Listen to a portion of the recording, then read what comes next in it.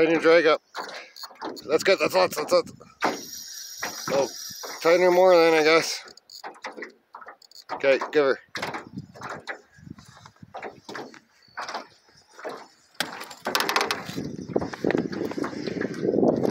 Nice Alberta Slough Shark. Keep it or back? Okay.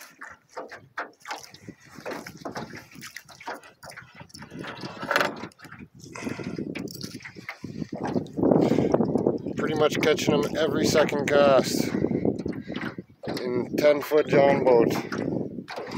There's a three horse Eska. It's got a Tecumseh.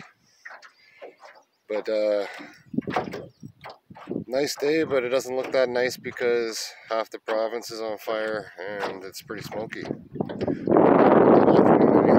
Alright, good one. Until next time.